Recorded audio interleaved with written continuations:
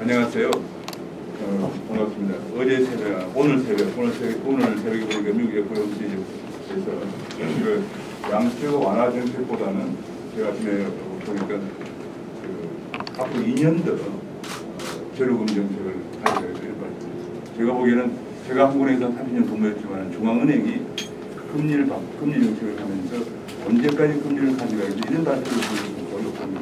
그래서 그만큼 은행도 이제 얘기했다면 굉장히 상당히 심각하다는 반영이고 어, 그러면서 제가 보기에는 어, 양적 완화 정책에 대한 여러 가지 그 비난들 신흥시장들의 그 어, 문제 그다음에 세계적인 인플레이션 문제 이런 것 때문에 제가 보기에는 상당히 그 그런 고심 끝에 내린 결론이 아닌가 싶어요. 그래서 시장에 완전히 그 지금 공황 속에 빠져 있는 시장에 대해서 어, 안정감을 주면서 안정감을 주면서 무슨 조치가 역시 그냥 확실하게 앞으로 2년간은 결국은 좀 조사하겠다 이런 그 어, 발표를 했습니다.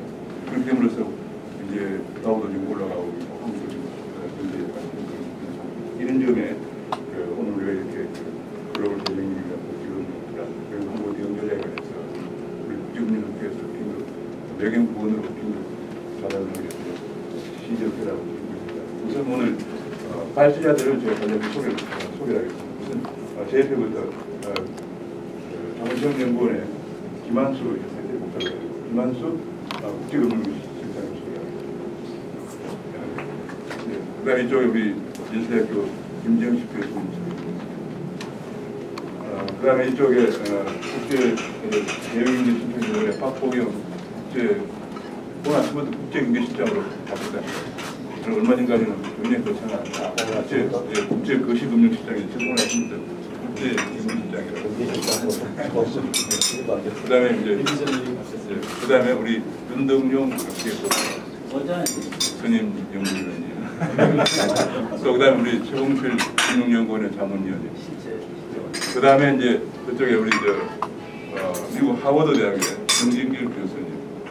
그다음에 오늘 우리 저 어, 홍일점으로 참여하신 신용대학의 어, 이종원 교수님, 우리 저 학교의 장 문경 교수님. 오늘 참석해 주셔서 대단히 고맙습니다.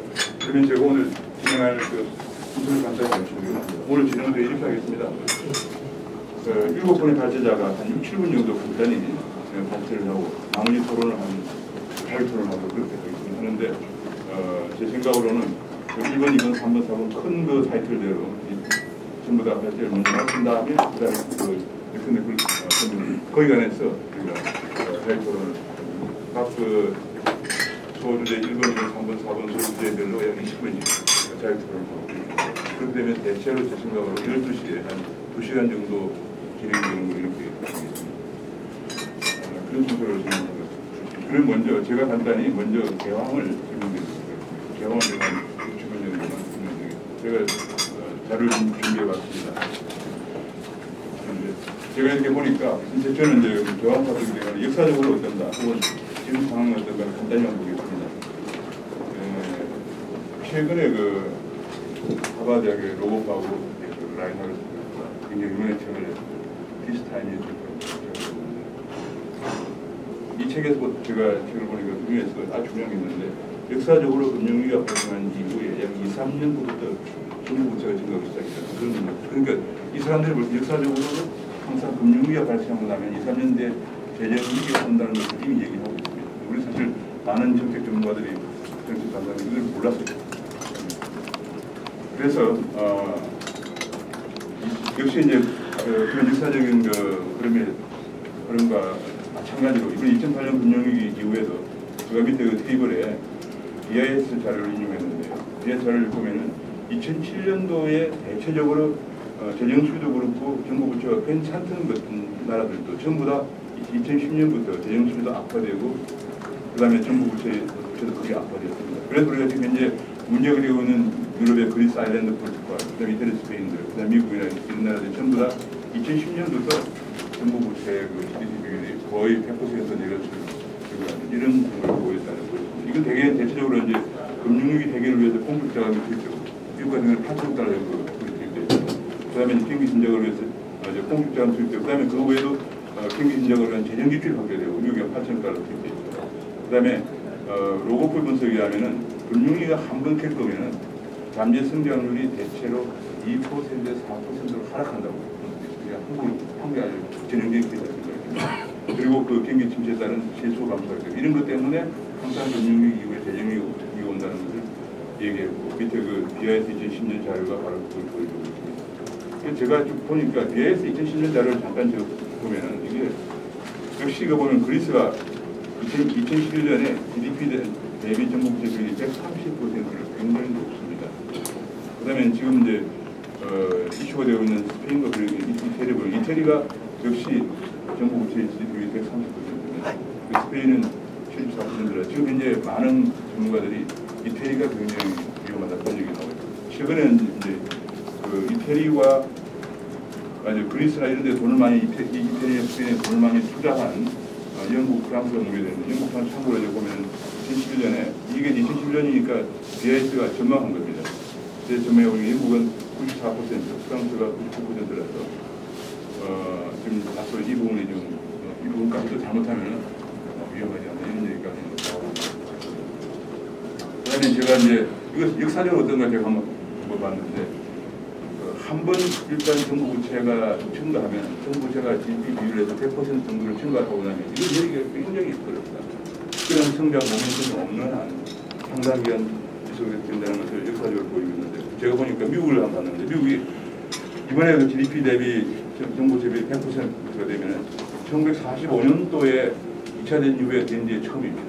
이게 그만큼 이게 미국이 지금 심각한 반영인데 제가 1945년에 정부 부채 비율이 어, 100%를 상회했습니다. 그때 116%를 기록했는데요. 이후에 대체로 안정적인 수준이라고 볼 수 있는 70% 미만으로 내려가는데 약 한 5년 정도 걸렸어요.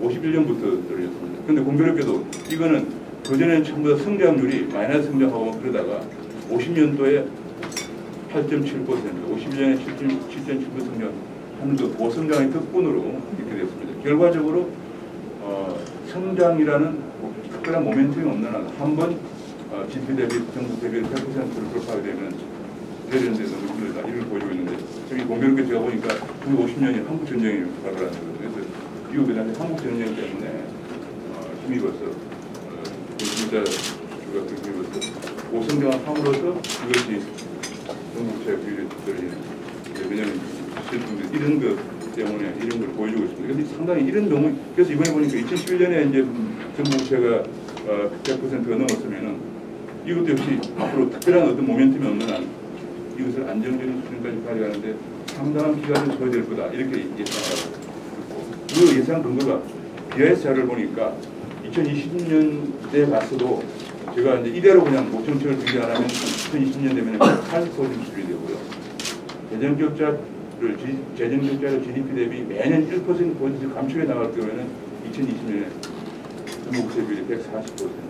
그 다음에 어, 이것을 재정, 즉 재정적자를 GDP 대비 매년 1% 감축하고 동시에 고령화 관련 지출을 이게 이제 굉장히 각 나라마다 좀 결정과 요인인데 이거를 2011년 수준에서 동일하면 전체 총액을 동일할 경우에는 그래도 동일해도 2020년에 130%될 거라고 전망하고 있습니다. 이번에 S&P가 그 미국 신용 강등 보고서 제가 검토해 보니까 S&P가 그 미국의 미국의 신용 신용 등을 강등하는 상당한 이유가 있어요. 이 사람들이 그 시나리오를 세 개를 만들었는데 하나는 2012년 말 종료되는 감시 조치가 그대로 현속할 경우에 이번에 감, 이번에 그 재정부채 감축이 끝나는 10년대 2021년에 한 가지 요 데이터가 좀 다른데 요거는 어, S&P는 순 정부 부채 비율이라는 데이터를.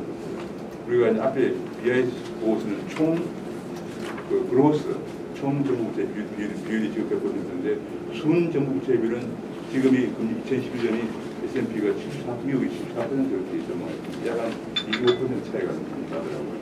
근데 이것이 순정부 비율이 2021년에 85%로 증가한 거다. 그 다음에 또 시나리오 2는 감세 조치가 2012년 말로 종료가 되어서 매년 9,500달러씩 최소 증가할 경우에는 경우에도 2021년에 78%가 될 거다. 그 다음에 어, 이번에 이제 신용 강등으로 10년물 국채금리가 이 사람들은 약 50에서 75bp 상승할 걸로 예상했는데 이 경우에도 이 경우는 금리 상승으로 성장률이 이 시나리오가 성장률이 내년 3%고 인플레이션율이 2%될 걸 가정해서 만들었어요. 그런데 만약에 어, 신용강등으로 국채금리가 50에서 75bp 상승하면은 성장률이 2.5% 떨어지고 소비자 물가 상승률이 2.5% 떨어지고 이렇게 가정을 해가지고 시나리오 3을 분석해 보니까 2020년에 하락으로 101%였어요. 어떤 경우에라도 지금보다 정부 부채 비율을 낮출 수가 없다는 게 S&P거든요. 그래서 S&P가 중국 신용등급을 선정합니다. 뭐 정, 신문에는 여러 뭐 재정부가 논란이 많은 제가 그 S&P 보고서를 면밀히 읽어보고 보니까 이 시나리오를 분석을 했어요. 그 다음에 한 가지 미국 경제 성장이 앞으로 굉장히 이제 앞- 이번에 오늘 아침 보냉키도 이제 예상보다 굉장히 악화됐다는 얘기를 했는데